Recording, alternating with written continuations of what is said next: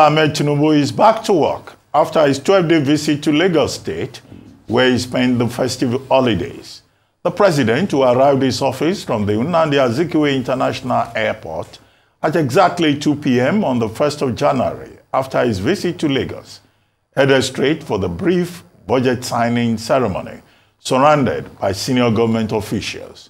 The two chambers of the National Assembly had passed the 2024 appropriation bill of 28.7 trillion naira, increasing it by approximately 1.2 trillion naira from the initial 27.5 trillion proposed by President Bola Tinubu. One of the key aspects of the budget that has been highlighted by key stakeholders in the country is the approval of the president's request to borrow $7.8 billion and 100 million euros as part of the 2022-2024 borrowing plan of the federal government, just as the lawmakers also approved the securitization of the outstanding debt of, of outstanding debit balance of 7.3 trillion of the Ways and Means advance in the Consolidated Revenue Fund of the federal government. Borrowing to fund the budget has been constantly frowned at by Nigerians, who have said the development had consequences for the rising cost of funds for businesses while also crowding out the private sector. Various analysts have highlighted that it will also create further problems for Nigeria's foreign reserve while putting more pressure on the volatile exchange rate. The question is, for how long will Nigeria continue to borrow in this manner in order to finance its budget? Joining us to discuss this is Arise Exchange anchor, Boason Omofaye. Welcome to the morning show. Good to see you again on the morning Thank show. you so much. It's a privilege to be here. Yes, good morning, good. Rufai Ayo. Oh, that's It's good, it's good to have everyone here. Bless you. Happy Let's New put it here. You're the closest man. Anyway, no Thank need you. for any summary. We've been on this subject since Sunday. Yeah, right? exactly. We just like to have your views. On the positive side, well, we're told that uh, the judiciary is going to get more money because the Tinubu administration is committed to the rule of law. And so the judiciary is going to get a better allocation and has already been given in the 2024 budget. That's the only part of it that I don't see anybody quarreling with, particularly the NBA, uh, you know, under the uh, leadership of uh, uh, Mikhail uh, SON, uh, CON, Yes. uh, president of the NBA. But other details have been very controversial. I, I, I think we, the, the, the, this is another budget cycle like we've always had. Um, I, I got a couple of things. First, the revenue side would likely be met or at least improve significantly. Uh, Mr. President is known as a revenue evangelist. If you know his antecedents in Lagos uh, as a governor, he's a man who has his eyes on the money. So uh, when I saw in the budget that the um, that the uh, the various MDAs has said that they will improve their revenue significantly, and that was why the budget was raised by the National Assembly by about 1.7 trillion naira, shows that yes, they will definitely come in and put in more revenue on the table. Mr. President knows where the money is. He knows about revenue. If Lagos experienced under his tenure and subsequently was anything to go by. So he's a man who knows where the money is. Now, that is one side. As far as the, to fund the budget, so we need that uh, increased revenue. However, my view on the borrowings, whether in local or foreign currencies, that how do we use the budget to drive investment rather than just rev- or revenue only? We've, we need to take a longer view approach of our budgeting rather than a short-term approach. Um, revenue is, is short-term in nature, but investment has to be longer. So while we're borrowing, uh, on one hand, we need to see how we use the budget or inclu- which includes the borrowing side of it, to drive further inflow of investment. What we need significantly now is more of FX inflows. And how do we drive the various MDAs, the ministries, departments, and agencies to increase their, to open the way for further FX inflows, investments, which will be mid to long term in generating revenue, create jobs, and put us on a more stable footing. I think that should be a, bit more focus uh, for, for us as far as the new budget is concerned. The, Mr. President has said every minister, MDA should submit their monthly performance report. I like that. But what is going to be in the performance report? Yes, what is performance? We need performance in terms of returns, your ability to meet expectations, but then what are those expectations? We need that very high investment drive, and I would need to see that. Mr. President has hit a very good button with the Taiwo Oyedele's uh, committee on fiscal uh, and, and, revenue uh, uh, reforms. We need something close to that in terms of foreign investment drive. He's been around for within the first six months extensively globally talking about foreign direct investment back into Nigeria, which is good. But we need someone in here to coordinate that and make it really work and open up the way in which we can get those foreign direct investment back into the country. That is what is more sustainable than borrowings. So until we get that investment angle back on track, chasing revenue is good, but we need a very strong investment drive. Those are my opening shots. I'll, I'll, thank you so much. I'll, I'll start on where you ended. Investment, investment, investment. The president um, had talked about, one of the things he'd pray or talked about is the fact that all through last year, at least since he became president, he'd been going out to be our number one investment champion, investment, you know, sales, um, manager. sales manager. And he mentioned this during his New Year's speech. Yeah. However, what a number of people have said is that despite the fact that he keeps saying that Nigeria is ready for investment, we're saying one thing, but the body language is something different.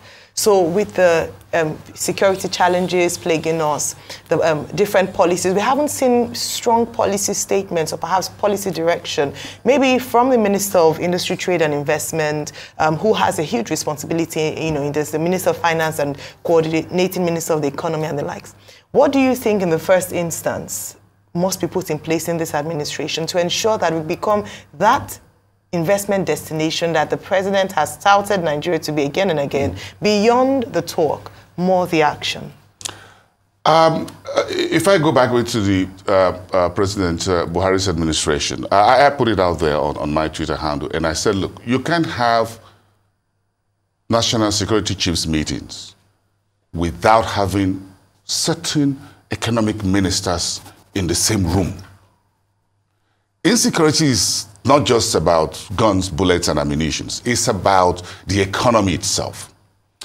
You need to have the Minister of Economy or Finance in the same room where you're having national security meetings.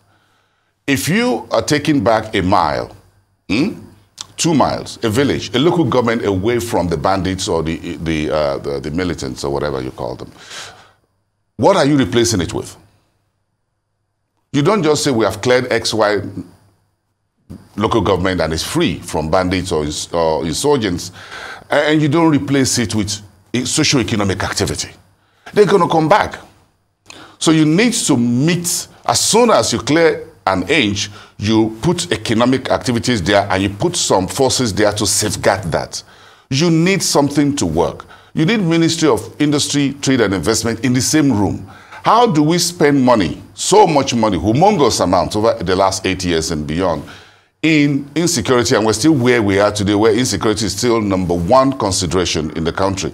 So every area, local government, whatever areas that we've cleared so far, what have we replaced it with in terms of economic values? We haven't been able to do that. So you cannot be having national security meetings only with the military chiefs. I want to see Ministry of Agriculture, Minister of Agriculture, Minister of Water Resources in the same room with them to say we have cleared so, so, so local governments in so, so, so areas. Uh, Minister of Agriculture, how many acres are there that we can plant for maize, for cotton, for this, for dadawa, and a few other things? Because you need to re-engage the people, all right, in agri agro-allied to start with. They need to do cottage industries. But we've created so much areas, but we haven't replaced it. So, so look, obedience is a two-way. It's either you do or you don't. It's not a one-way traffic. Is that what's called the do's and the don'ts? If we are doing that and our forces are doing well on the ground, what are we, what economic activities are we putting back in place on those locations? So that has to happen. Now, we need to deal with corrupt issues, attitude to work, attitude to everything, to bring in foreign direct investment. You see, when you go outside and you talk to foreign investors, maybe you talk to uh, uh, presidents or whoever, as soon as you leave the room, they will sit down to have their own meeting. That's how investment works. It's like applying for a bank loan. As soon as you walk out of the door, the credit committee will sit down to have their own meeting. As to, uh, uh, business application, what do you gentlemen think? Uh, what is his balance sheet here? Does he have, how much does he deposit in this bank in the first place? If my deposits in the bank is almost at sub-zero and Boason is here to ask for a billion dollars, a billionaire, they're going to say, he doesn't even have deposit here to start with very well. What are his business? They're going to start scrutinizing your credit application, loan application, in your absence. So as soon as Mr. President leaves with his entourage, those countries will sit down with their presidents and the private sector to review Nigeria in our absence. So what they think about us, the assessments in our absence is what matters, not what goes on television. So the decision is not made through those handshakes.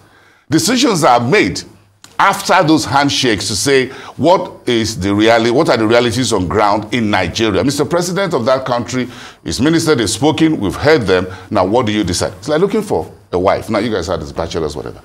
The first thing is that you, know, you come, you bring palm wine or whatever. I am I'm not going there. I just, uh, uh, okay, I'll, I'll, I'll take that back. But again, the decision is made to either give you the girl or not after the suitor's family had left. Uh, what do you think? Uh, discussing marriage. you know the, Economic issues. You know the in-house. Uh, because budget has to be involved in planning no, marriage as well. Uh, the bachelors in-house. We have I'm talking about. I'm trying to link to the it. population. Yeah, I'm talking about the budgeting process now. Oh, okay. Because they'll talk about the foreign direct inflow. Okay. What is the budgeting? What's the revenue of the prospective suitor? What is his balance sheet? You remember that uh, pension fund I said, the father-in-law says, do you have a pension account? And the gentleman was looking like, uh, I don't know what it is. When you have a pension account, come back. come back and hear from my daughter. That is how investment works. So we want investment, you have to be suitable as a suitor. So is Nigeria a suitable destination for investment? We have opportunities. Now you find why investors, if you call an MDA, a minister, or the CEO of a DG, and it's not available for a day or for a week, that investor is not going to wait forever. Remember, every dollar that every investor wants to put anywhere in the world has a competition. Mm. So don't take yourselves too seriously. Take what you admit too seriously. We tend to take ourselves too seriously in this country rather than take what we are doing so serious. We believe that we are serious, right? But again, are we doing things seriously? That is where the difference is. So that dollar is waiting. If you take one week out of 53 weeks in 2024, you are left with 52 weeks. That investor is not going to lose one week because that money is not even his own. Maybe it's a pension fund from Chicago, from wherever, and they are waiting for returns on their own investment. So every dollar we are asking for, either from India, from China, from everywhere, is competing with another dollar from another country, from another region I, in I the mean, world. I mean, listen, I mean, because you said a lot, and the truth is, it now makes sense why photo ops in Saudi deals announced months after. That's, that's a reception. Photo ops with Olaf Scholz, deals announced. So, I want Nigeria to succeed. What are the things we can do that when these investors will talk about Nigeria at the back of President Tinubu, they will talk about us favorably. Because there was a time that they used to talk about us for eight years yes. ago, 2015, mm. here. Most of the FDIs into Africa flowed to Nigeria. But today, that's our political capital. But, but yeah. today, when people are talk about talking about investment, in the oil sector, we call ourselves a giant of Africa and oil, but they are investing more in the oil sector in countries like Egypt that we will not tout. Angola. Yeah, and Angola Senegal, not tout Sierra that capacity. Senegal, Sierra Leone. Yes, DR Congo. Than us. I mean, look at even Liberia. Look at Rio. Yes. The mining giant coming. So how would they talk about us and say, okay, mm. this makes sense? Because if you say 200 million population, uh, uh, uh, the first thing is, as we speak today, what's the purchasing power of that 200 million population? Rufa, it's very simple. Tanzania just announced that their total investment deals done in 2024 was $20 billion. Deals now, completed? Yes. in 2024, announced. not announced, was around, Completed. was around 20 billion dollars. President Samia Suluhu just sacked the entire board of the country's electricity company a few days of Christmas because she said, "I'm tired of these power outages." She sacked the entire board. You can't mess with Madam President in Tanzania. Hold on a second. That's not over yet. If you look at the island of Zanzibar just next door, which was part of it, look at how investment flows is going there. South Africa had one of this worst year in terms of electricity outages in 2023.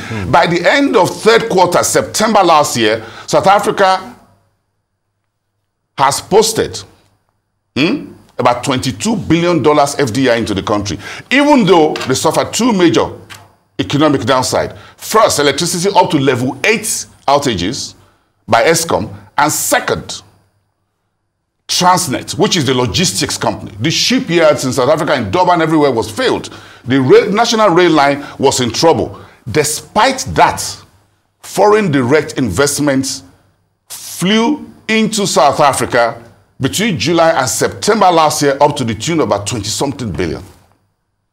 But now, what does that tell you? That despite the fact that we have the same electricity problem in Nigeria, such investment flows was not coming here.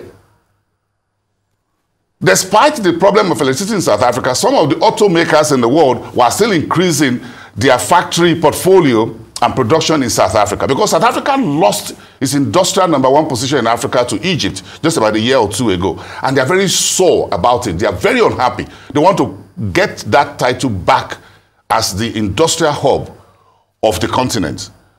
Now, so when something is missing here, in which South Africa has a major power outages, I've tried to interview sometimes one of our uh, correspondents in South Africa at my show at 7 p.m. and he says, I don't have electricity. I've had to talk to some investment executive chairman of companies and say, oh, please hold on, I have to put on my generator to do it. In South Africa, yet investors were flowing in because they are doing massively. What did President uh, Ramaphosa say? Look, he liberalized the whole thing. If you're doing 100 megawatts and below, it's free entry, free exit. I don't want to sign any paper. Just go bring it on. He brought in a new minister last year of electricity. Now you have a minister of power, but he brought in another minister that his job is to ensure that there is power 24 7 and give that new minister of electricity a, a one page, one line mandate. But it's not worked. But hold on a second, he's attracting investment in. So they are using the opportunity of the problem with Eskom to bring in new alternative sources of energy, and that's why investors are coming in. Look, Eskom is that old utility like NEPA, Yeah. but we want to do solar. So you come in, Rarify, with your own 10, $2 billion, right? Because you want to provide that. Professor here comes in, doctor comes in here and says, I want to do $2 billion in another form of renewable. But because the environment is opened up, so we need to open up our electricity. Look at the TCN, for example, when we look at the energy.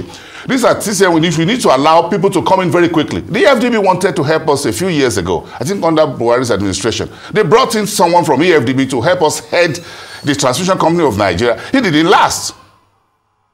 So we need to open up. When we say you are open for business, and I used this uh, uh, illustration yesterday. An Igbo man, when he says he's open for business, he's not just opening the doors of the shop. He is there, sitting down there. He is chasing customers. Okay, uh, boss. Well, some clarification. when you were using the example of father-in-law and whether suitors are suitable or not, and I was cautioning you. Yes, I, I wish this is a Friday show not so that to uh, empower, not to empower Some people around the table. around this company who have formed an association of bachelors, and they are insisting on their rights not to uh, marry. You will be giving them uh, further justification, so that their fa- prospective fathers-in-law don't say they are not suitable. No, they will find suitable fathers-in-law. Okay, now that even China wants to increase population, but that's on the lighter side. no, no, they shouldn't go to China, by the way. We should prevent that from happening. Anyway, to go back to the subject, I want you to comment on the securitization that has now been approved by the National Assembly. You say revenue will not be a problem. Now, because borrowing up to about 89.7% of what was requested by the president has been approved, or because you are optimistic that the uh, 800 naira to the dollar exchange rate uh, approved by the National Assembly is feasible, or that we can meet the 1.78 billion a million barrels per day crude oil production rate, or even the 2 million uh, uh, barrels uh, per day that uh, Minister Heineken uh, Lokpobiri is proposing. Where is that optimism coming Co- from? because you say he's a revenue evangelist. Yes. Uh, but have you forgotten that uh, Abuja is not Lagos? This is a Yes. different proposition. Th- that- That's why the caveat. That's why I said I I think he will raise the level a little bit further. He's throwing so many iron in the fire as far as revenue is concerned, and I'm sure that will be. It's a low-hanging fruit in terms of who he is as Mr. President. He's an accountant and the way Lagos run, and he knows how he can work the agencies and whatever to bring additional naira and kobo to the table. So to that extent, the revenue will likely see some uptick.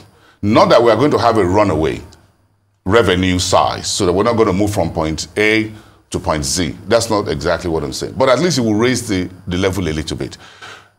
The DMO, the Debt Management Office, and a few others in the room have said, look, let's securitize this, uh, the existing ways and means, which allows that you can take it to the market, maybe a portion of it to the market, and that could become some of the government securities that will be tradable on the various exchanges and investors can pull, put into that. Fixed income uh, pension fund folks can buy into, in, into, into, into those security, into those uh, securitized ways and means, which is good. Which was an idea which was proposed initially when you have the, solu- uh, uh, um, uh, uh, the Lamido Sanusi's um, banking, whatever that, some of those debts that went to AMCON should actually be securitized and be traded on the market. Th- Those were the issues back then. So it was good. It's good as, as it were. Remember, the discussion started in the final days of uh, President Buhari's administration as to how the securitization should be done. So it's good. It's, that's good news. That gave him a bit of a clean bill to start working uh, his way.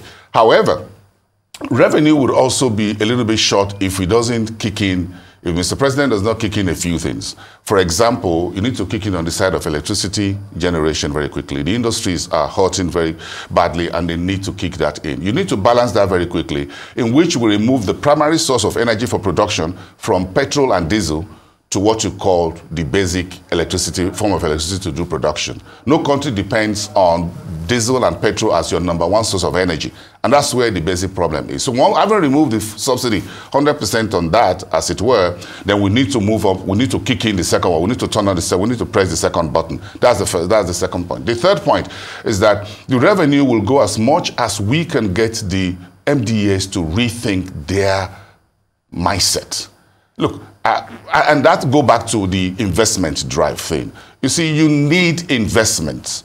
Every ministry is an investment generating point, perhaps with the exception of the judiciary and a few others. Health is investment. I've interviewed Ali Pate, the new health minister. He's speaking more as an investment banker than, than a health minister, than a doctor. And I love the way he's coming through.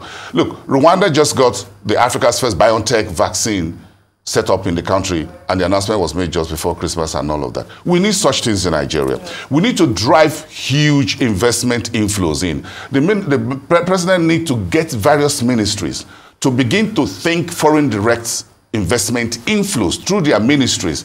Because once you change one single dollar to naira, it gives you about a thousand naira. So it helps you cover that revenue than if it is one to one. So we have an advantage with the weak currency. But if we don't maximize it to turn it into productive purposes, then it's just going to be for consumption, which is like just just putting tissue paper in an exiting. Uh, you need to use it more productively. We've not been able to to achieve that, and that's where the problem is. After the uh, second world, the second world war, so, so Japan was looking at about 600 Japanese yen uh, to the US dollar. But what did they do? They used that 600 to one dollar to re-engineer the Japanese economy after the Hiroshima, whatever Nagasaki thing, to become what they are today. So it's not about the exchange, the size, or sorry, the value of the exchange rate, but what do you do with it? If you have inflation, what do you do with it? If you have a low exchange rate, what do you do with it? America today is still the number one foreign direct investment destination in the world, but the US prints the dollar itself. But what does the America do? What you say in local parlance, you use Owo Abu to challenge Abu. In other words, the US prints the dollar, but wants you to bring it back to invest in its own economy. In other words, it doesn't want US does not want to just be a printing center. If not, the US economy will sink to the bottom of the ocean. So they print the dollar, let it flow, Then they bring it back in without printing extra to create jobs locally and remain competitive. But you don't print dollar. So if the country that prints dollar still goes about asking for foreign direct investment into its economy, how much more you, who's printing a weaker dollar, a weaker currency, need that inflow in dollar terms? Oh, Thank you so much, Boason. I, I, your take this morning has been truly insightful and love the perspective you brought to the so conversation. Much. And you, as you talked about with the MDAs, is to begin to think of themselves like an investment or revenue generating yeah. arm of government. I think that's fantastic. It's, Thank it's, an, it's, an, it's an, investment agency. Absolutely. Mm. Thank Hopefully you. they will put uh, the revenue they generate into the treasury single account. Yes. Oh, yeah. And the relevant agencies will ensure accountability because many of those MDAs still have accounts unknown to government. Yes, yes we can, but we can use the same formula for the uh, Bachelors Association. Uh, we can. and on that note, thank you so much. We'll my, my pleasure. Let's have this final handshake. It doesn't look like it doesn't look like. the first. you know, he's one of the bachelors.